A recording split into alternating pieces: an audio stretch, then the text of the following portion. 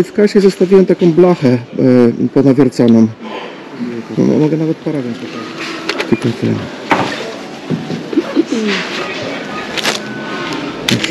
Co? Ale za co?